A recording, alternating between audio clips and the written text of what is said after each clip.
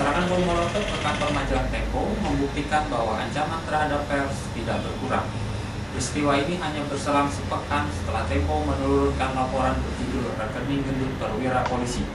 Aksi teror ini merupakan ancaman serius terhadap pers dan juga membuktikan bahwa kebebasan pers belum terwujud secara ideal.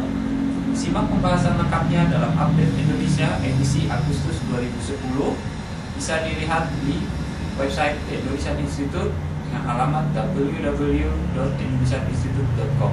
Saya Endang Sri Hadi, peneliti sosial di Indonesia Institute.